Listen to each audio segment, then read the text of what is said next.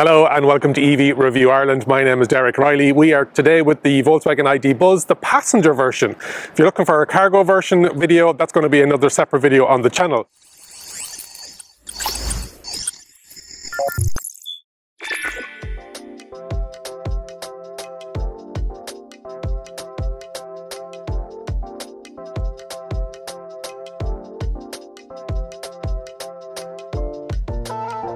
Um, two-tone with the candy white and the uh, yellow comes in green, orange as well.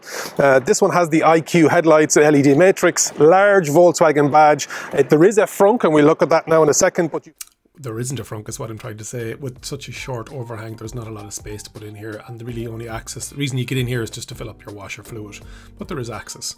Colors is another thing, and I talked about it on my social media. There's the solid colors there, there's seven available, and then in the two-tone there are four colors available.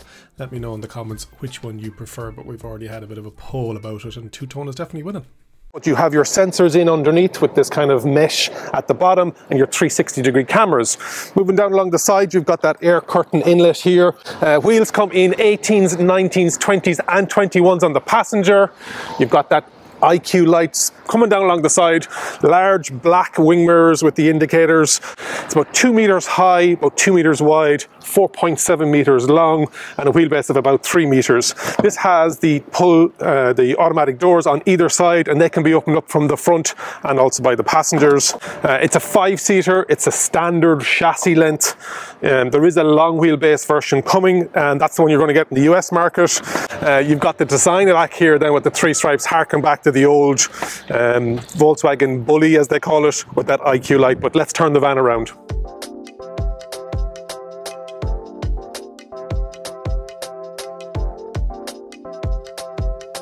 rear passenger side you have the charging flap AC goes up to 11 kilowatts and DC up to 170 kilowatts on the side you've got this beautiful IQ light at the top, you've got the gloss black shark fin aerial, you've got the high level brake light, you've got the uh, wiper, which is great to see. On the IQ version, you have this beautiful side to side or coast to coast light, a super large Volkswagen badge, ID Buzz, and then in underneath, you have a power tail lift button, Inside the boot, you have 1100 litres up to the top of the seats. And then if you put the seats down, that comes up to 2200 litres. And this one has the optional floor in it so that when you push the seats down, everything is level. Really practical, lots of usability here. So yeah, you've got your likes of your shopping bag hooks, you've got your 12 volt socket, and with this model we had the um, raised floor option on it with some storage boxes in underneath that you can use. This just makes it a flat floor. Also, uh, you have the tow bar button, so you can click the button on the side and you can use your foot, or as I did with today, it was a nice clean van, I was able to use my hand and you use your foot then to kick it back underneath again. Also, there are a lot of talk about people wanting to camp on this, and there is a camping module available a foam mattress on the top with a pull-out cooker and water holder, etc. Let's have a look on the inside.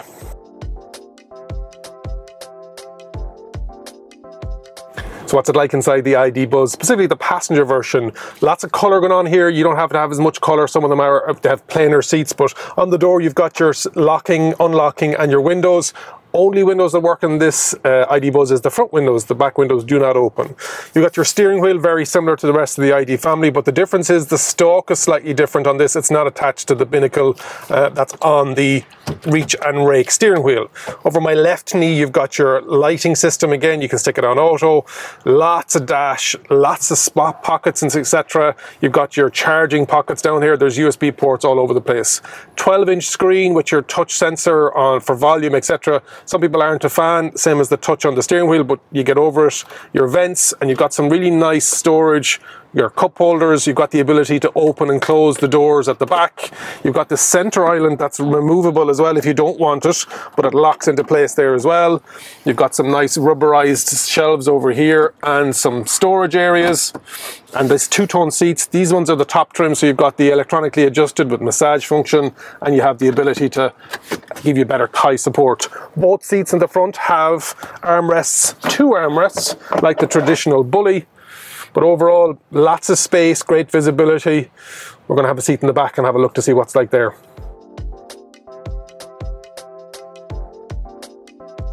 What's it like in the back of the VW ID Buzz? Lots of space back here. This seat is set for me. I'm 188 centimeters, six foot two, so oodles of space. But there's also 150 millimeters of travel on both the 60 and the 40 split. So if you need less or more space, it's great to have it there. In the back of the seats, you have a device pocket in the top. You've got a table that you can adjust. Um, it also has a magazine holder. What's not back here is um, air vents, etc. But also I can't open the windows. There is some in the pockets of the doors. There are some USB Type Cs. So it's a bit compromised. There isn't an armrest back here for uh, cup holders in the middle. So it's a, it's a bit of a funny one, but great space, I'll give it that, but just functionality could be a bit better. So in the back of the ID Buzz, if you want to put the seats flat, you just pull that handle and it folds nice down and flat. And with that false floor, everything has come through. That brings this volume up to 2,200 litres. You've got your ISOFIX tie-off point in the back, and there's two in the back of the ID Buzz. Probably a missed opportunity with such a large vehicle that they don't have that third one in the middle. A lot of people are looking for three in a row. This video is in partnership with Nevo.ie, Ireland's dedicated EV website. Nevo is on a mission to create a seamless transition to electric driving for everyone. Browse different trim levels and book your test drive of your Volkswagen ID Buzz and much more at Nevo.ie today. Let's take the Buzz out on the road to see what it's like. Suspension wise, and this is not a good road by any means with that MacPherson strut with these uh, coil dampeners and then the multi-link in the rear. Uh, it's a lovely smooth ride with regards to what uh, with the weight of the actual vehicle. So they're doing a nice job of that because there's going to be families that are going to be using this. It's not going to be racetrack driving. So it's a 150 kilowatt electric motor on the rear axle. Uh, there is an all-wheel drive coming next year, we're told in 2023. That gives you 204 PS, 310 newton meters of torque. Visibility wise, it's phenomenal. Absolutely phenomenal. It is a large windscreen. It has uh, quarter panels so that the A-pillar is really narrow, as Jonny Smith likes to call it, the killer pillar. Um, and then just visibility all around is amazing. Really quiet as well. And I was looking at the to see if the glass was a double glazing, and it wasn't double glazed. Um, so here in Copenhagen, uh, so there's a press drive going on over a number of weeks. I think it's a global event, so there's people coming from all over the place, and we're all embargoed. Top speed is 145 kilometers an hour and a 0 to 100 in 10.2 seconds. It's not the fastest, but it is nearly two and a half ton. Uh, battery in this one is a standard wheelbase with a 77 kilowatt hour battery. There is a larger one coming to the United States. Uh, that's 77 kilowatt hour usable. Lots of practicality here as well with lots of cubby holes. There's a really good one in front of my left knee with two USB type Cs. There's also the option of putting a camera up here uh, we talked about the charging speed already and 0 to 100% on an 11 kilowatt charger is about seven and a half hours. I can only assume that would increase with a 7 kilowatt hour charger, probably around the 10 hours, 10, 11 hours. And charging time on the DC from 5% to 80%, if you can get it at 170 kilowatt, will take only 30 minutes. And I like the fact that they've moved it because it's a bit deeper than the ID3, ID4, ID5 the, the space between the binnacle and the steering wheel is just that bit too far. So you can drive now, there's little notches in the back. And so the ability to change what drive mode you're in, put it into B mode. So it's two stage regen. There isn't one pedal driving like all the Volkswagen models. Um, D is adaptive and B is high regen, but it's not one pedal. It's got that 10 inch screen on some models. Not a fan of the haptic feedback buttons, touch buttons on the steering wheel, um, but it is what it is. They've they've scaled economies there, so they're buying thousands and thousands of buttons for steering wheels. So um, it is it is what it's what it's doing, what it's supposed to do. Energy consumption, it's saying WLTP of between 20.5 kilowatt hour per 100 kilometers to 21.7. Uh, it's slightly higher on the cargo version, but that's on a separate video. And WLTP is between 400 and 423. I really like the double armrest real captain's chair feel to it.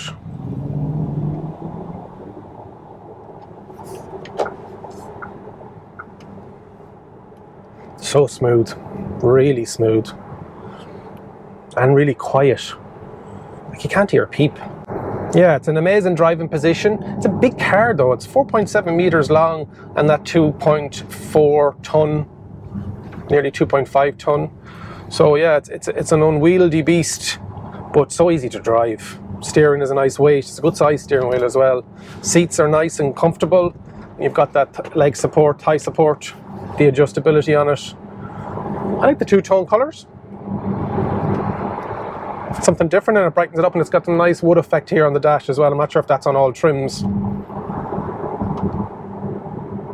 But yeah, it's super practical and compared to, to a, a traditional SUV, like I think they're going to sell a few of these. They're expensive, don't get me wrong, but there is a definitely like large SUV is not cheap. So it's the decision of whether you do uh, SUV or whether you do multivan MPV style like this with a maximize the, to maximize the use of, utilize it to utilize the maximum space. Early start this morning. Let me know in the comments if you're thinking about going for the ID Buzz, if it's something that's on your list. Have you ordered one already?